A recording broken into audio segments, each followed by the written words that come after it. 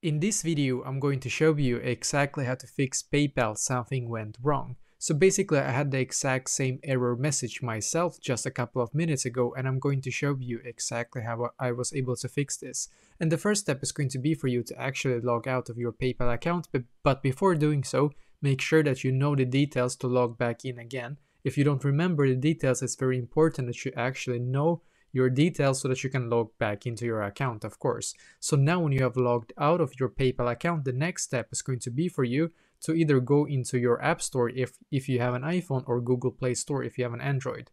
Now in here, we're going to search for PayPal. So just search for PayPal in here. Then scroll down and find PayPal as you can see. And as you can see, I do have this update button right here that I'm going to click on. The reason why you need to click on the update button if you have it right here is because it will update to the latest PayPal version and it will fix all the bugs that was on the last version. So sometimes if you haven't yet updated your PayPal, this is the thing that you need to do to be able to actually fix the issue just so you know. And when you have updated your PayPal, then what you're going to do is to just log back into your account and hopefully this will fix this issue.